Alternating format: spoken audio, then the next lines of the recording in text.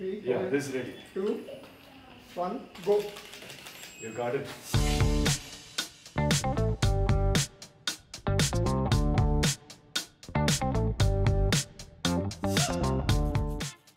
So today we guys got to use some Profoto lights which are basically high-end studio lights which like the normal studio lights which we were using in, can't go above a certain speed and we can't like freeze things which are falling or like which are breaking.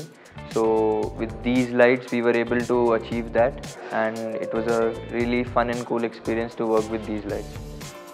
So my name is Saurav and uh, we are here for last two days and uh, we have been experimenting with the students with the Profoto lights. They tried multiple modifiers with multiple lights and they did not give up till the time they achieved the shot. And they were very, very keen on knowing more details about it. They were tweaking with all the technical details about it. The Profoto team was very helpful and very accommodative. You know, we tried some shots with like water and things, you know, which had like a chance to fall on the light, but they were still okay with that because they wanted us to do our best. The students here are so experimental that they never gave up. They wanted the shot no matter what.